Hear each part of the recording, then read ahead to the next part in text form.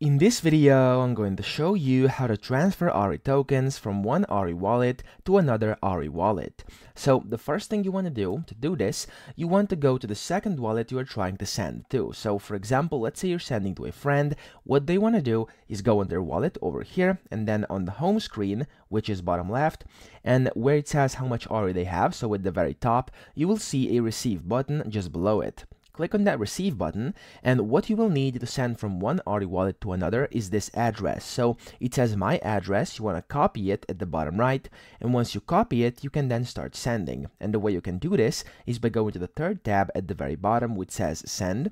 There we go.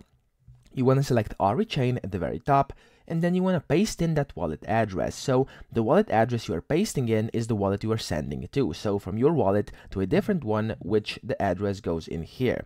Now, you don't want to type in the amount, so you can just type in yourself, or you can even go by percentages, so 10, 25, 50, or 100%, so whichever one you want.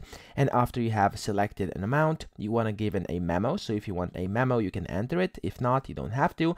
And then lastly, you want to put in your password, so just your password of your account, and then you want to click on next and confirm that. And after this, your ARI will basically be transferred to from one ARI wallet to another ARI wallet. So that's pretty much it. I hope this video helped you out. If it did, please subscribe to the channel and help me out as well.